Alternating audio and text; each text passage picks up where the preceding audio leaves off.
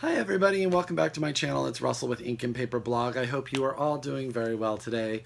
I'm here today to bring the second half of my July book haul to you and uh, I hope you're ready because I think you're going to add these um, seven or eight books to your list, I have no doubt. The first one I'm going to tell you about is the Granta Best of American um, Young American Novelists collection. I kind of brought this up a little bit when I talked about Esme Wei Weijun Wang's novel that I was going to take on vacation with me, which I still haven't read. But um, she was named one of the authors to watch in this collection. And there are a number of really great authors in here. Lauren Groff is in here. She wrote Fates and Furies, Monsters of Templeton, and Arcadia, which are three novels. I've read them all. They're all fantastic in their own way, very different. Anthony Marra is in here. He wrote um, A Constellation of Vital Phenomena, which is freaking fantastic if you haven't read it.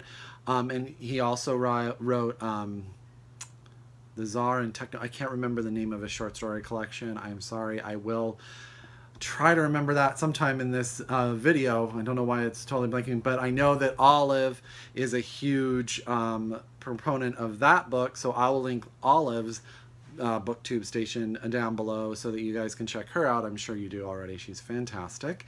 But um, anthony marra is great. And it just has some short stories by emma cline who wrote the girls which was really big um, at the beginning of the year and just a bunch of different people. So if you're looking for a way to maybe meet some new authors, this is a little collection that can kind of just break you in, introduce you, and then you can go and get their novels or short story collections or whatever um, they have published, and it can be just kind of that neat sort of introduction. So that's the Granta Best of Young American Novelists 3 collection, um, and it is Granta's 139 publication.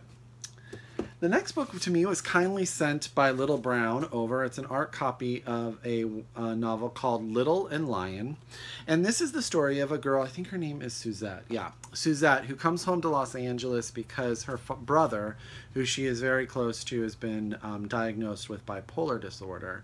And I don't know if you know anyone with bipolar disorder, but it is definitely one of those um, conditions that people have to deal with day in and day out. And it's such a struggle. And I think that it's good that there's a book out there about someone who's come home to help their brother and acclimate him to life and get him into that situation where he feels comfortable in the world in which he lives. But the twist, because it's not all about that, is that she falls in love with the girl that her brother is in love with. So, of course, there has to be a little drama, right? And so it's a little bit about doing that, trying to help her brother, trying to get him on the right path, to make him um, as happy as possible, and then also sort of falling in love with this girl. So that's Little and Lion by Brandy Colbert, and thank you very much, Little Brown, for sending me this. I really appreciate it.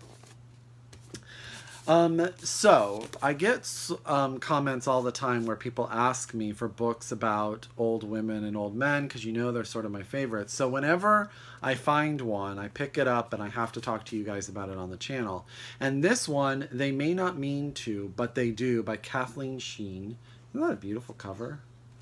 This is the story of the Bergman family, and basically it's about the children and the fact that their mother just doesn't do what they want her to do. So her husband passes away, and the children have all these plans uh, for her mom to their mom to quietly go and live the rest of her life, and she decides no.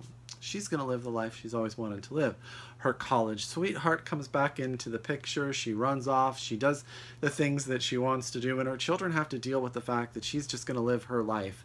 And you know, I love myself a strong older woman. You know, I love the fact that um, any book that talks about them just doing what they want with their lives and saying screw to you to the rest of the world. I love that the children are like, what? What is our mom doing? I think that's going to be hilarious. So I picked this up if you like those type of books too. Um, they may not mean to, but they do by Cathleen Schine.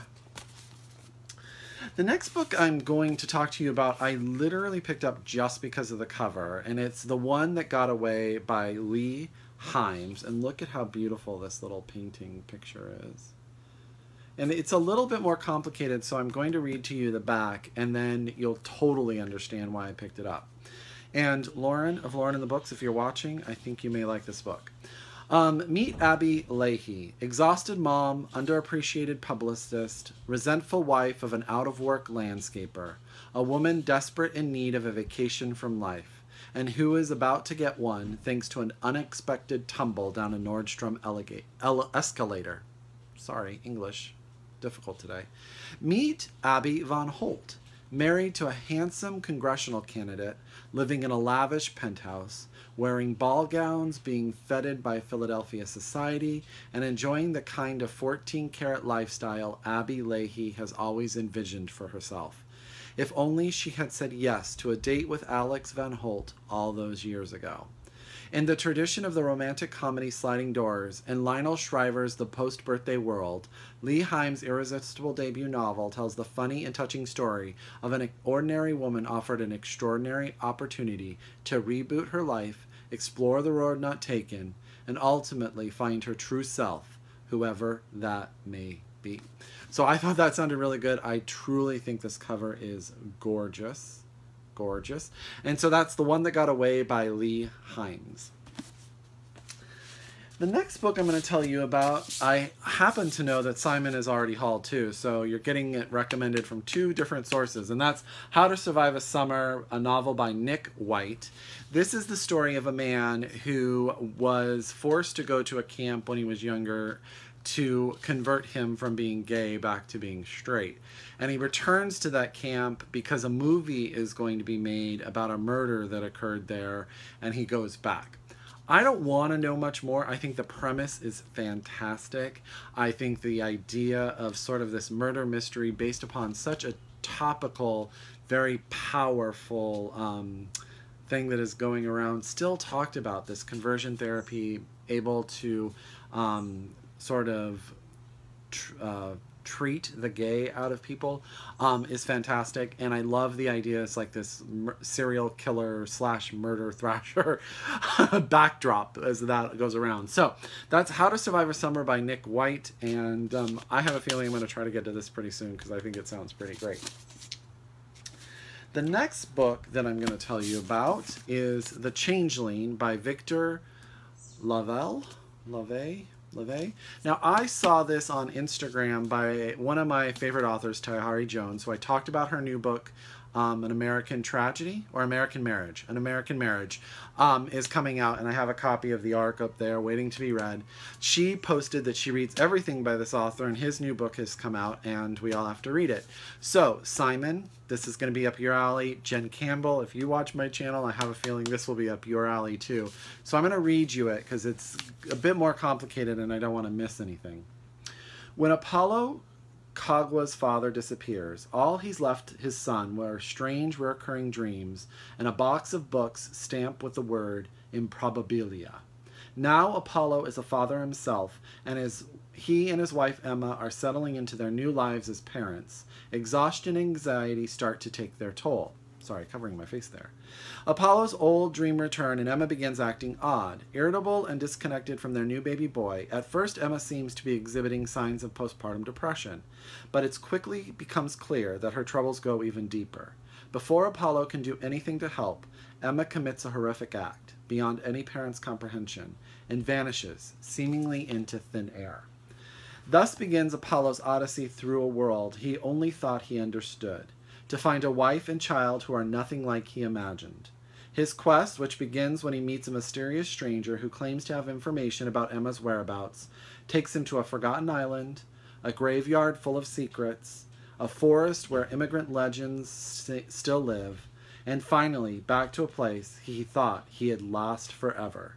This captivated retelling of a classic fairy tale imaginatively explores parental obsession, spousal love, and the secrets that make strangers out of the people we love the most.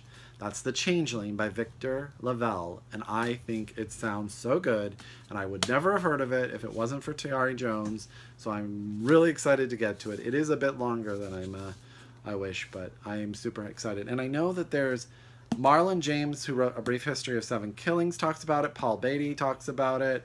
Kelly Link, who is a fantastic short story writer, talks about it. And then inside, Anthony Doerr, who wrote All the Light We Cannot See, talks about it. So come on, guys. This book has to get on your TBR as soon as possible. And last but not least is my Book of the Month Club book. And this is actually also was recommended to me by Charles Berry, one of the people who watches my channel. Hi, Charles. You told me about Goodbye Vitamin, a novel by Rachel Khong. And um, you know how I love the little blurbs that they put in Book of the Month, and I tell you guys about them. It says, Tender without being sentimental and hilarious without breaking a sweat. Goodbye Vitamin by Rachel Khong will charm you while stealing your heart. So I know a little bit about this. It says, freshly disengaged from her fiance and feeling that life has not turned out quite the way she planned, 30 year old Ruth quits her job, leaves town, and arrives at her parents' home to find family life more complicated than she realized. Her father, a prominent history professor, is losing his memory. Her mother, like Ruth, is smarting from a betrayal. But over the course of a year, the comedy in Ruth's situation takes hold and gently transforms her grief.